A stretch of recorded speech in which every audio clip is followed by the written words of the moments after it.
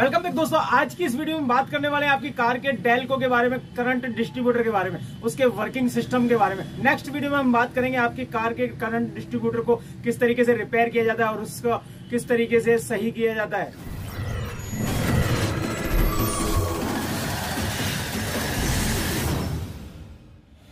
तो दोस्तों, सबसे पहले डेल्को के बारे में समझते हैं। डेल्को के मेथड के बारे में समझते हैं, उसकी कार्य प्रणाली के बारे में समझते हैं।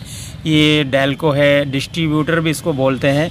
ये यहाँ से तीन प्लग्स के लिए करंट को डिस्ट्रीब्यूट करता है, जो कि यहाँ आते हैं तीनों वन बाई वन।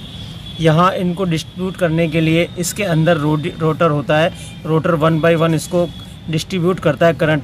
मगर करंट को जनरेट करने के लिए भी इसी डिस्ट्रीब्यूटर का काम सबसे ज़्यादा होता है जो करंट डिस्ट्रीब्यूट करने के बाद पहले करंट को जनरेट करने के लिए इस कोयल को वर्क करवाता है। तो वो वर्किंग भी इसी डेल्को की वजह से होती है। तो मैं आपको सबसे पहले इसके अंदर दिखाता हूँ कि कैप को हटा लेने के बाद आप इसके अंदर की तरफ़ देख पाएँगे तीन पॉइंट्स बने हुए हैं जो कि ये तीन पॉइंट्स हैं ऊपर वाले और एक बीच का पॉइंट्स है।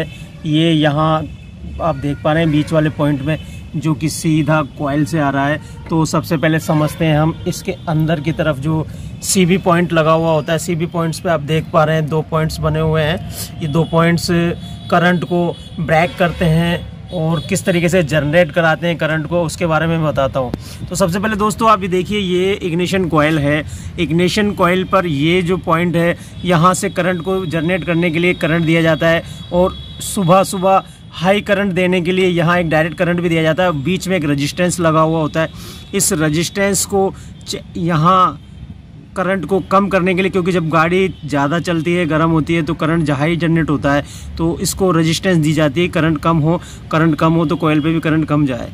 तो सबसे पहले यहाँ से करंट दिया जाता है पॉजिटिव करंट दिया जाता है पॉजिटिव करंट इस पॉइंट पर आता है और इस पॉइंट से इसके अंदर जो कॉयल बनी हुई है, मैंने एक पहले भी वीडियो बनाई थी, इसके पूरे वर्किंग के बारे में तो आप वो देखिएगा।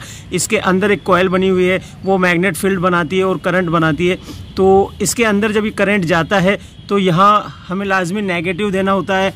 और नेगेटिव देने के लिए एक स्पार्क नेगेटिव की ज़रूरत होती है, जो कि स्पार्क देते ही इतना हाई वोल्टेज करंट तैयार होता है इसमें। तो यहाँ जो ये वायर दे रखे है हमने, इस वायर को सीधा डेल्को के यहाँ सीबी पॉइंट पर लाया जाता है और सीबी पॉइंट से इसको आप देख पा रहे हैं। इसमें रोटर जो बना, लगा हुआ है रोटर के ऊपर तीन पॉइंट्स बने हुए होते हैं। मैं आपको थोड़ा साफ़ करके क्लियर करके दिखा दूँगा। वो तीन पॉइंट्स इस रोटर के ऊपर एक बॉल बनी हुई होती है, एक डॉल बनी हुई होती है, देखिएगा उसके ऊपर किस तरीके से ये आपस में जैसे ही गाड़ी घूमती है टर्न करती है। पॉइंट को हमने सेट कर दिया है और सेट करने के बाद इसके वर्किंग को चेक करने के लिए हम इंजन को राउंड देंगे इंजन को घुमाएँगे। तो यहाँ से जैसे ये ब्रेकिंग करेगा ब्रेकिंग करने के बाद इस जगह पर हमें करंट का स्पार्क महसूस होगा। तो ये करंट का स्पार्क चेक करने के लिए हम इंजन को मूव करेंगे। मूव कीजिएगा इंजन को। देखिए, यहाँ नीचे स्पार्क हो रहा है। और एक बार मूव कीजिए। देखिए आप देख पा रहे हैं, यहाँ स्पार्क शुरू हो गया है। मूव कीजिए। बस।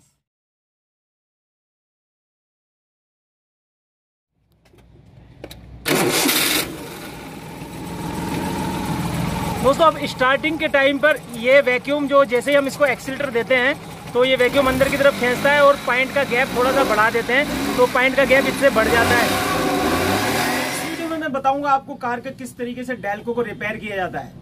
अब नेक्स्ट वीडियो ज़रूर देखिएगा, उसमें मैं आपको बताऊँगा आपकी कार के डेल्को को किस तरीके से रिपेयर किया जाता है, उसके पॉइंट और कंडेंसर को किस तरीके से गैप सेट किया जाता है, और उसकी जो डेल्को प्लेट है, उसको किस तरीके से सेट किया जाता है, और साथ ही उस वैक्यूम का क्या काम होता है। तो आप नेक्स्ट वीडियो ज़रूर देखिए